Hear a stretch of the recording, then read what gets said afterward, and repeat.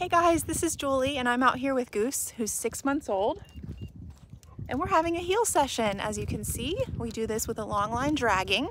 Anytime he moves out of this position right here, where he's not next to my left leg, I'm gonna apply pressure. And this is how he learns to stay in that heel position and follow my left leg. So what I'm doing in these early sessions is trying to sneak away when he's not paying attention, gives me an opportunity to catch him off guard. Hey, you're not paying attention. It's held pressure until he's back to my leg. So I can start to do things like this, pressure's on, and he closes the gap, and then he starts to move with me. See, that was no pressure. So I've got all these moves. I can start running, close the gap there. I can do some turns, tap my tone, there you go, and he finds that spot.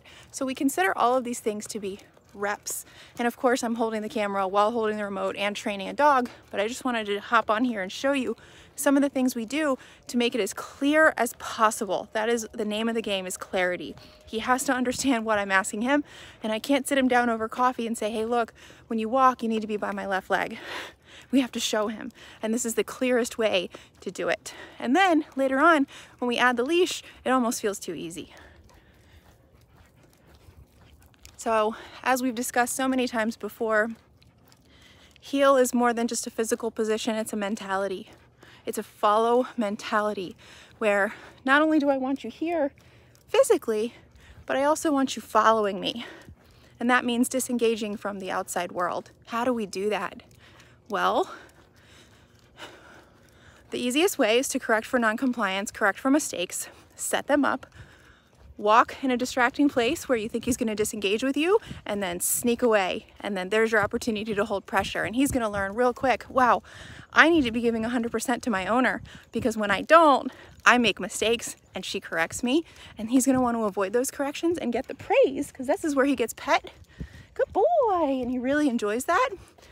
And he's going to say how can I get that? And he's going to say ah I need to pay attention 100% and that's how we get our dogs heel so good, feeling so amazing.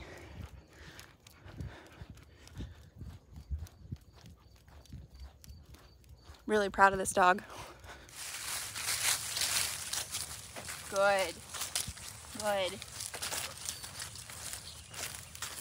That's my boy. Good job.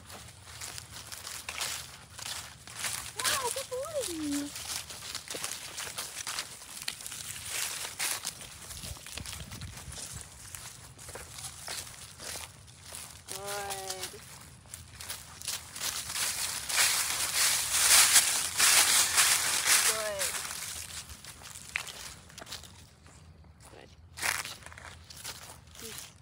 Break. Good boy.